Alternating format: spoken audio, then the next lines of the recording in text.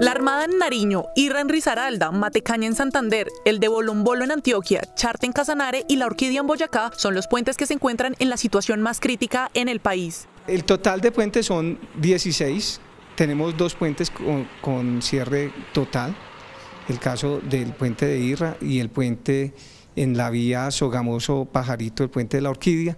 Hay unos puentes que están restringidos en carga, tienen límites de hasta 20 toneladas o paso a uno a uno sobre, sobre el puente. En su mayor parte son puentes muy antiguos, son puentes en su mayoría metálicos eh, que ya han cumplido, digamos, la vida útil. Hay otros que colapsan eh, por emergencias como son los de Mocoa, donde ya se están haciendo la construcción de los nuevos puentes, el caso de Mulato.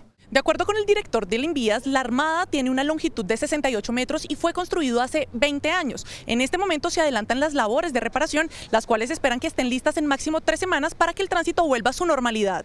Eh, el puente tuvo, eh, presentó una oscilación en el tablero hacia la junta que está contra el estribo porque perdió unos apoyos de neopreno, entonces lo que se hizo fue una decisión inmediata, colocar paleteros, para controlar el, tránsito de vehículos, solo permitir sobre el puente un vehículo. El rubro para este año en construcción de puentes es de 300 mil millones de pesos, para la rehabilitación de puentes es de 10 mil millones de pesos y para emergencias hay 20 mil millones de pesos.